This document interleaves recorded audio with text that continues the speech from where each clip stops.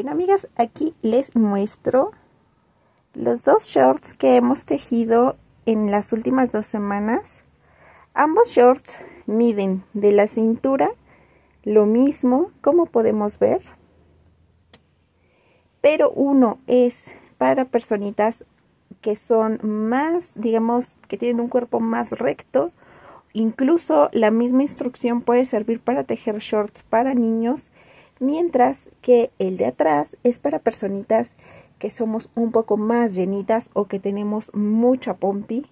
Entonces, ambos tutoriales están en el canal. Pídanme en los comentarios cuál quieren, el verde o el rosa, y yo les voy a poner ese tutorial ahí donde me lo pidan, eh, en los comentarios de este video.